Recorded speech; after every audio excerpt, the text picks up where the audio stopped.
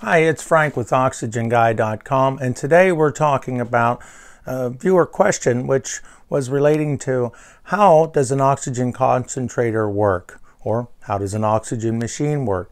And basically, the question was they wanted to know if it made its own oxygen or if there was a chemical inside that produced the oxygen with the machine.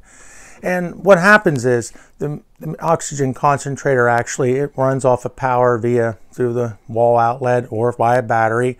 It compresses the air, the uh, the 20 to 23 percent oxygen, and then the rest is nitrogen.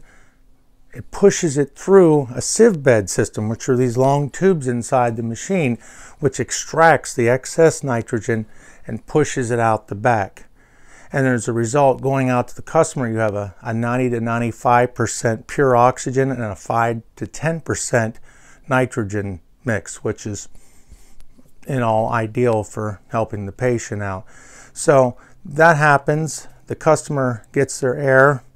And now it also comes back to making sure the filters and such are clean because when you're pulling in all this air it pulls in a lot more air than people think.